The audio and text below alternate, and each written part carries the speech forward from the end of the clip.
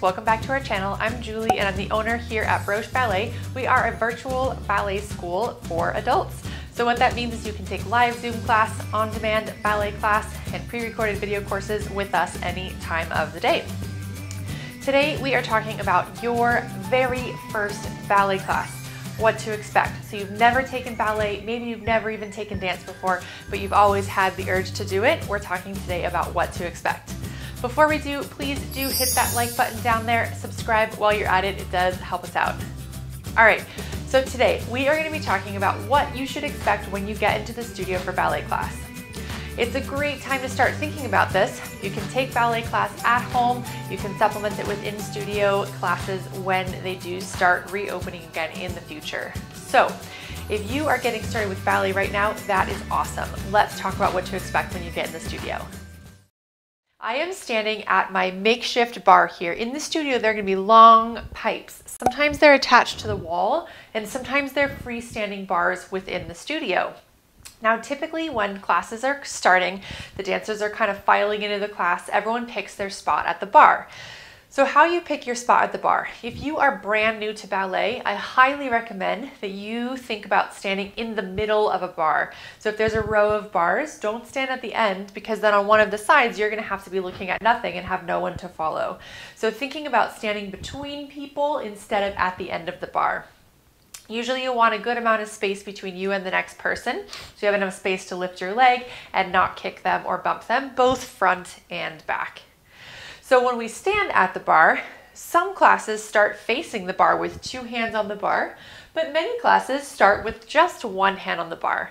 Now when we do start with one hand on the bar, we always start with our left hand on the bar. So where I am mirroring you, it's gonna look like the right hand if you're looking at me. So we would start in class with the left hand on the bar. So it's gonna look like this if you were following along with me directly.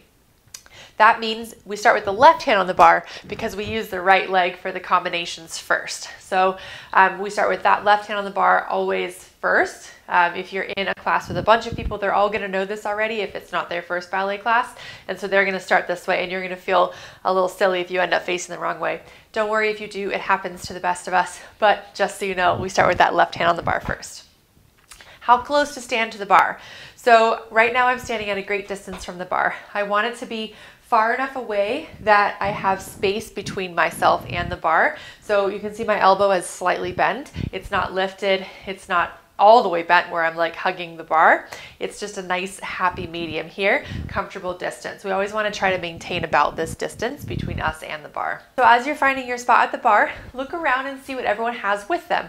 Um, a lot of schools, uh, especially adult classes, will let you bring water with you to the bar, so you might set water with you. Just don't put it right next to your foot because you're probably going to kick it while you're dancing. So put it at the end of the bar or where there's space, or if there's a wall bar, as far against the wall as you can so you don't kick it.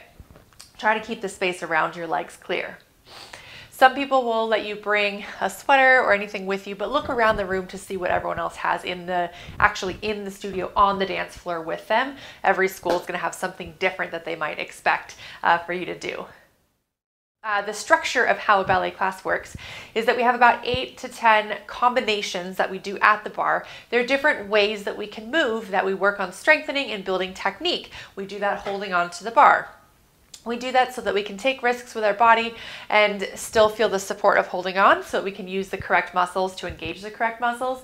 Um, sometimes if we do bar work without actually holding onto the bar, then the incorrect muscles will take over um, to try to save us from falling over. So if we have the uh, support of the bar, we can actually uh, work the correct muscles. Even if they're not strong enough to hold us all the way up yet, we have this support system to help us while we learn. Ultimately, when you dance on stage, we don't have the bar, but this is where we learn, develop strength, develop technique. So these exercises that we do at the bar are always the same. So we do pliés, we do tendu, we do dégagé, we do rond de jambe, we do frappé, fondu, développé, and grand battement. Sometimes the teacher will throw in a bar stretch. Sometimes there'll be two tendus or two dégagés or something like that. But that's the general structure from your very first day all the way until you're a professional. You don't stop doing these same exact exercises. The thing is, you do them at a higher level, you do more complicated versions of them, you do them better, you perform them at a higher level, um, but you don't stop doing the same structure of a ballet class.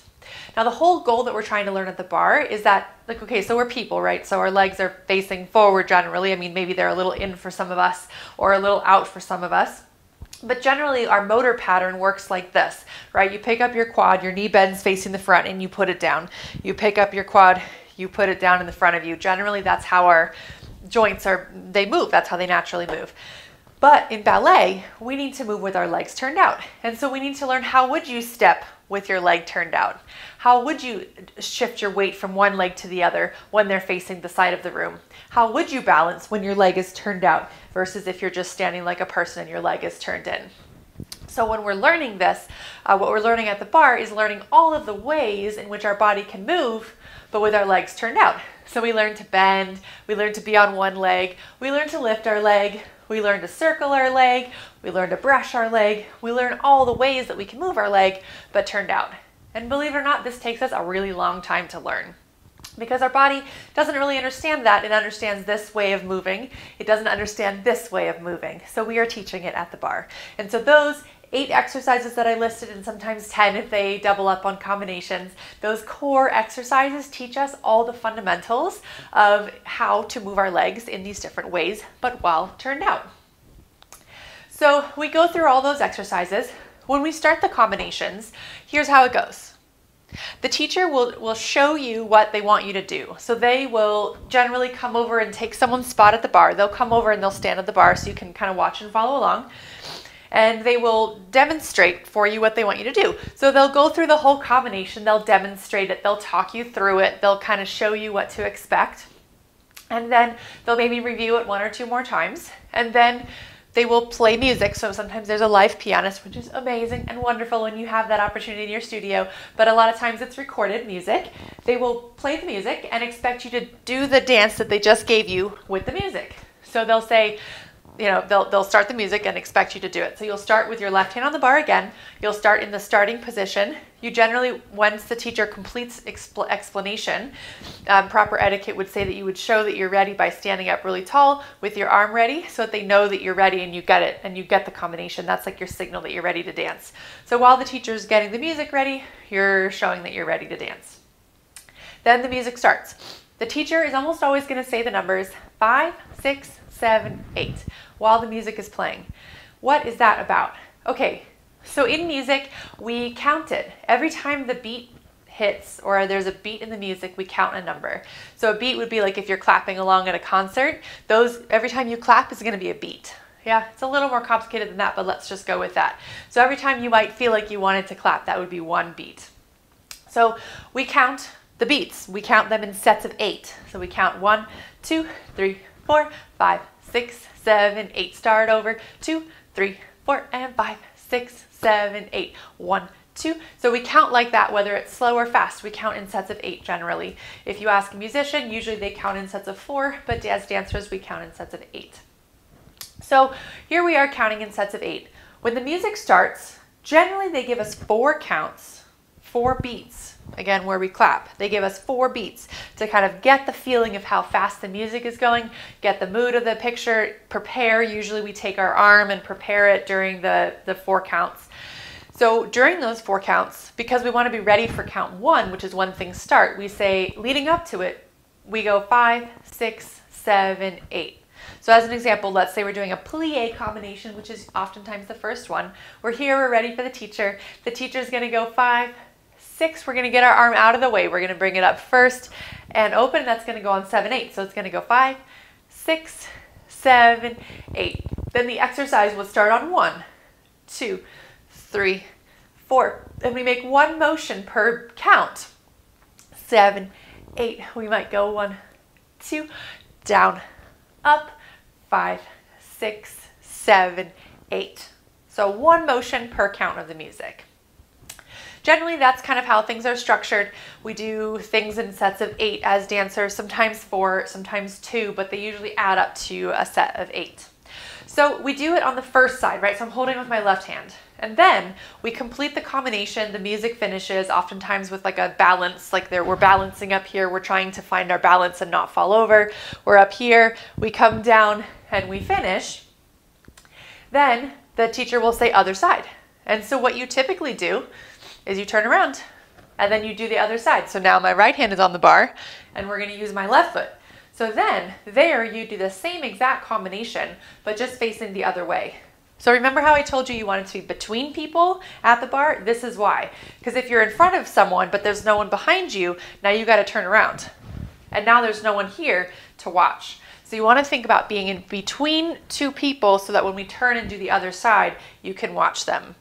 Now, some studios, like uh, when we had our Denver studios here at Broche Ballet, we did uh, switch around the bar so that we could all look forward because those classes were very small and there wasn't always someone to follow. But in most traditional ballet studios, you're going to actually turn and face the other side. Now, if you're starting ballet online, typically what you'll do is pick up your bar or move it and bring it over to the other side. If your bar is immovable, then you might take your camera or your computer to the other side so you can watch from facing the other direction. You can of course turn around, but if you're at home, there's no one behind you to help you uh, and help you watch when you get to the other side. So we go through those eight exercises at the bar. Uh, again, sometimes it's 10, maybe sometimes it's six if some of them took a little longer. We go through all eight on both sides and then it's time for center. So sometimes between bar and center, the teacher will give you a little bit of a break to use the restroom, to stretch, to get some water, to move your things. During this break, uh, we need to clear the bars from the room out to the side. So you can look around and see what the other dancers are doing. They'll know the drill if they've been there before. You take the bar, you pick it up, maybe with the other dancers, uh, if it's a heavy bar with the help of the other dancers, and you move it to the side of the room. There's usually a place where they're stacked up, but you move the bars, and once the bars are all moved, then you can go about your business. But always clear the bars out first. That's the dancer's job to do. Um, customarily, it's often the gentleman's job to do that in class. In adult classes, we are sometimes not as lucky to have as many gentlemen, but often when we do have gentlemen in class, they will uh, pick up the bars and carry them to the side of the room. Then you have time on your own. You can stretch. Sometimes this is a little awkward if you don't know exactly what you're doing. So don't worry. Everyone in class is generally, especially in adult class, is super nice. So maybe strike up a conversation or maybe just kind of stay on the side of the room and, and take inventory of what's going on. So when we get to center, center uh, is how we call it when we're not using the bar. Center because we're in the center of the room. Center work um, is a little bit less structured than what we have at the bar. It usually goes in a specific order. It usually goes a tendu with no bar, an adagio, that means something slow. Then we do um, a turning combination or a waltzing combination. Sometimes that travels or moves across the floor. Sometimes you start in one corner of the room and travel across the room to the other side. Then we do jumps. Um, not all classes will jump, but a lot of times you'll have jumps. So you do like a warm-up jump, and then you do a petit allegro, which is like little jumps, and then you do a grand allegro, which is like big leaps across the floor and across the stage. So center, those, those are like families of combinations, but the actual combinations themselves can be incredibly varied throughout that. Um, to space yourself out, I do recommend that you find somewhere either in the middle or further in the back. Um, standing in the front uh, generally is um, a little bit more tricky, obviously, if you don't know exactly what you're doing. There are mirrors that you can follow along with people behind you, but it's a little harder to follow along through the mirror than if you're standing behind someone. So generally, it's appropriate to, especially if um, everyone's shy and no one wants to go to the front, so people sort of congregate towards the back of the room, it is appropriate to ask someone who looks like from the bar, like if you're looking around the room, maybe you'll notice someone who seemed like they know what was going on. You could go up to them and ask them like, excuse me, it's my first class. Could I please stand behind you in the center? And they'll generally move forward so you can stand behind them. Or if not, probably someone else will overhear you asking and be like, oh, I'd be more than happy to stand in the front. So it's always okay to ask if you can stand behind someone. The dancers in class are usually very, very nice and helpful. So we're in the center. Um, the first two combinations I mentioned, the tendu and adagio, happen with everyone together in the room. Sometimes the teacher will do two groups, um, in which case they'll usually help you split up into two groups. Uh, then half will just move and disperse to the back of the room around the edges of the room, and the other half will stay in the center of the room, do the combination, then they'll switch, and you'll come out to the center of the room, and they'll go to the back of the room. If it's a traveling combination, so I mentioned the, the waltz and the turn and the grand allegro, then you'll all sort of there'll be a couple people here ready to go, and everyone else will be kind of lined up along the edges of the studio getting ready to go. And you kind of, as the groups go, this can be really nerve wracking. Um, actually, as the groups are going, you're kind of getting ready to get started yourself, and you're kind of preparing your little group of dancers and, and kind of jockeying for who's going to be in the front and kind of getting the hang of all that together. So there's a lot of there's a lot going on when you're waiting for your turn. you you need to be kind of keeping an eye out and counting how many people are are in front of you. So if it's groups of three and there's four people in front of you, you know that there's one group that's going to go and then you're next. And so you should start kind of coordinating with the two people near you, like, okay, we're going to go together. Can I go in the back? Or, you know, start planning all of that. Of course, quietly because the dancers are dancing, but you're going to want to start coordinating that in the back of the room. At the very, very end of class, usually they'll invite everyone to come back out into the room and do a reverence. That's usually a follow along where you just stand, the music plays, and you follow the teacher without really prior instruction. Usually that is just like a curtsy or a way to give thanks for the class, thank the musician if there was one, thank the other dancers, thank yourself for making that time for yourself and uh, just kind of thank your teacher and uh, and the whole kind of ballet world. It's, it's a very a very deep rooted tradition to conclude with a reverence. The last note that I will make here is that oftentimes in an adult drop-in or open class environment, uh, even if something is labeled beginner, oftentimes that can span many, many years of experience. So someone all the way from where you are, you've never danced before, all the way up until someone who's danced for several years or even danced a lot as a child and is coming back to the bar and needs a slower paced class and wouldn't start off in an advanced class. So beginner uh, in ballet doesn't always mean beginner as in it's your very first ballet class. So oftentimes when you walk in, the dancers do already know what's been going on. They've been coming week after week and have been starting to get the picture. So don't feel intimidated if it looks like you have no idea what's going on and everyone else has every idea of what's going on. Um, they have been doing it for a lot longer than you. No one is expected on their very, very, very first class to walk in and know what's going on. So be very, very kind to yourself when you walk into your very first class. Um, and know that uh, you're in an environment with people who've done these things before, they've seen these things before, and you'll figure it out too, just like they figured it out. But it can be a little bit intimidating at first to feel like you're the only one who doesn't know what's going on. Um, it's most likely not their first ballet class, but it is yours, so be kind and gentle with yourself. Now, if you are watching this video on YouTube, you're probably a researcher and are researching everything about ballet before you actually get started going.